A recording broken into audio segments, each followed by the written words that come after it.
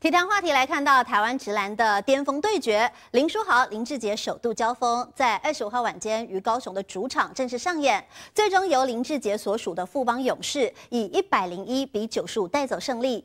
赛后也被问到跟林书豪交手时的感想，他表示觉得非常荣幸，能够在篮球生涯跟这么好的对手打球，相当光荣。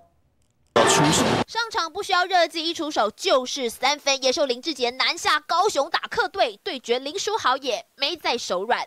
林书豪马上也回送一颗中距离，豪哥 carry 起来，球迷终于等到两队 S 级王牌的正面交锋。换防之后，林志杰大转身，面对豪哥的防守，杰哥正面对决，直冲禁区，轻轻松松把球放进。做客钢铁人，勇士没再客气，整队爆砍十九颗三分球。即使林书豪整场缴出二十二分亮眼成绩，最终仍以一百零一比九十五输球作收。很开心，很荣幸嘛，对啊，以他的能力已经不用去多说，因为现在他就是可以把整个当年不管在进攻、端防守，我觉得还有还有一些年轻的都让他们就提升了一个档次吧，我觉得这是很不容易的。啊，这样我我可以保证，四十岁我肯定不会还在打球啊，这个我能保证啊。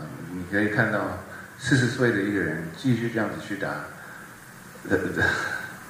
真的真的非常优秀啊！真的非常优秀，所以可以跟他打也是非常好玩。